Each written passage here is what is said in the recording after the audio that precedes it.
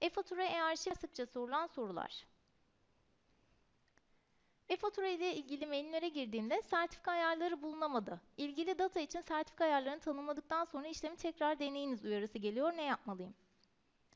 Servis klasörü altındaki e-fatura ayarlar exe çalıştırılıp işlemler menüsü altından yeni sertifika tanımlama işlemi ilgili şirketin ilgili şubesi için yapılmalıdır. E-fatura taslak oluşturmada aşağıdaki hatayı alıyorum. Ne yapabilirim? Agent Parti teslim cariye ait bir hatadır. Teslim cariye ait ver kimlik numarası, vergi dairesi ve benzeri alanların dolu olması gerekmektedir. E-fatura ile ilgili menülere girildiğinde Access Violation fatura DLL hatası alınıyor. Ne yapabilirim? İlgili makinede program kapalı iken servis klasörü içerisinde e-fatura ayarlar exe yönetici olarak çalıştırılmalı ve işlemler menüsü altından e-fatura DLL kayıtlı işlemi yapılmalıdır.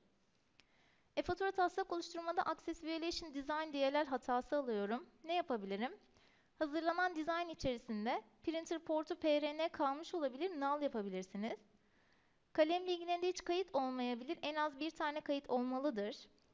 E-fatura dizaynında e-devlet şablon dosyasının bulunduğu dizine işlemi yapan kullanıcının erişim hakkı olmayabilir. Kümülasyon bilgilerine bir alan eklenmiş olabilir, kaldırılmalıdır. E-fatura hizmeti olarak logo entegratör kullanıyorum. E-fatura gönderiminde ve gelen giden zarf bazında sorgulama yapıldığında aşağıdaki şekilde hata alıyorum. Ne yapabilirim? Bu hatada Internet Explorer üzerinden aşağıdaki adreslere doğrudan erişim olması gerekmektedir. Online e-fatura gönderiminde ve gelen giden zarf bazında sorgulama yapıldığında aşağıdaki hata gelmektedir. Ne yapabilirim? Internet Explorer üzerinden Merkez e-fatura gov.tr adresine doğrudan erişim olması gerekmektedir.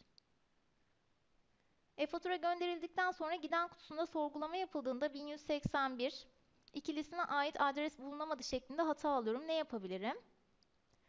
Gönderim yapılan müşterinin bilgileri değişmiş olabilir. Fatura modülü e-fatura işlemleri menüsünde yer alan e-fatura cari güncelleme işlemini çalıştırıp zarf sil dedikten sonra tekrar taslak oluşturup gönderebilirsiniz.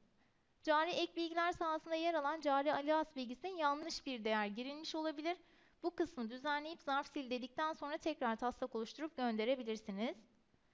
Online e-fatura lisansına sahip bir firmada gelen e-faturaların sisteme düşmemektedir.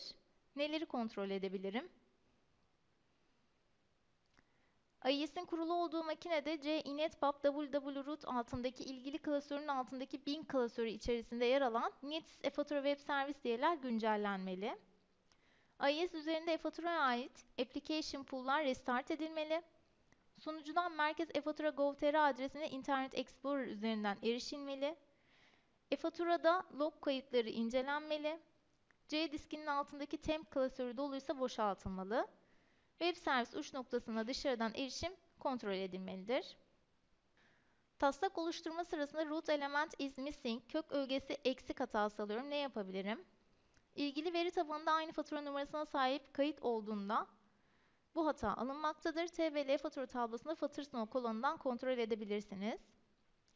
Gelen e-faturaların 8 günlük yanıt verme süresinin hesaplanmasında fatura tarihine değil kayıt tarihine bakılmasını istiyoruz. Ne yapabilirim? EFAT durum fonksiyonunun güncellenmesi gerekir. Düzenlenmiş hali için netisdestek.logo.com.tr adresine mail atarak temin edebilirsiniz. Red edilen ticari fatura için ne yapmalıyım? Satış faturası üst bilgilerinden ilgili faturayı silebilirsiniz. Red edilmiş faturanız için yeni fatura numarası ile tekrar gönderim yapabilirsiniz. E-fatura gelen kutusu interface not supported hatası alıyorum. Ne yapabilirim? Temel set klasörü içerisindeki e-fatura diyeler, fatura diyeler, e-fatura konsol exe ile servis klasörü içerisindeki e-fatura db konsol exe, e-fatura ayarlar exe dosyaları setinize uygun ve sürümleri birbiriyle uyumlu olmalıdır. Rename edilmiş dosya bulunmamalı ve sonrasında e-fatura diyeler kayıtlı işlemi mutlaka yapılmalıdır. E-fatura taslak oluşturmada işlem başladı. CKR function failed hatası alınıyor. Ne yapabilirim? İşlem yapılan makine mührü okuyamıyor. Mührü çıkartıp tekrar takabilirsiniz. Mührünüzü başka bir porta takarak da kontrol edebilirsiniz. E-fatura taslak oluşturma sırasında geçersiz kullanıcı adı şifre hatası alınıyor. Ne yapabilirim?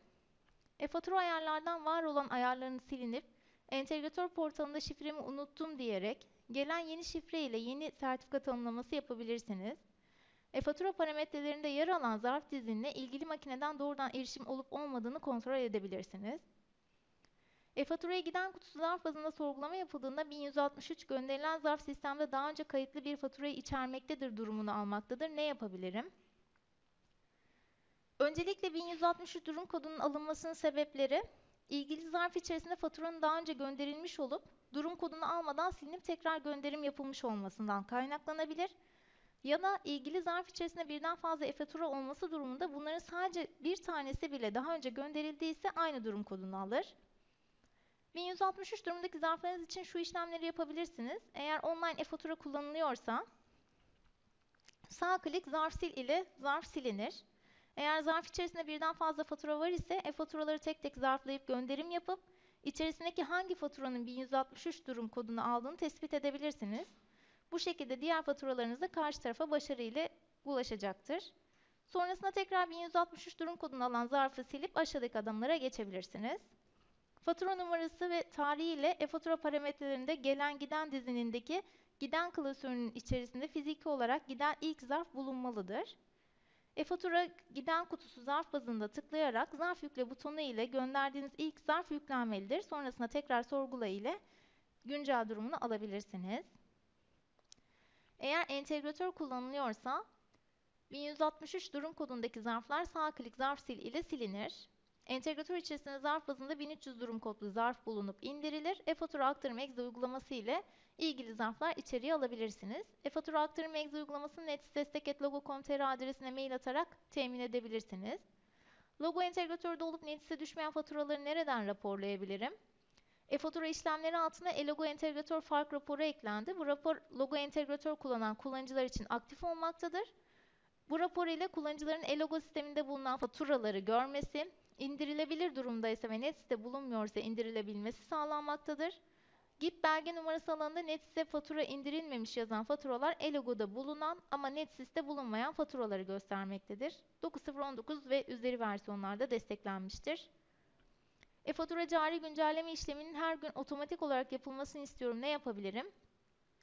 Zamanlanmış görevlere servis klasörü altındaki e-fatura cari update exe'yi ekleyip add argument olarak silent parametresini kullanarak istediğiniz zaman çalışmasını sağlayabilirsiniz.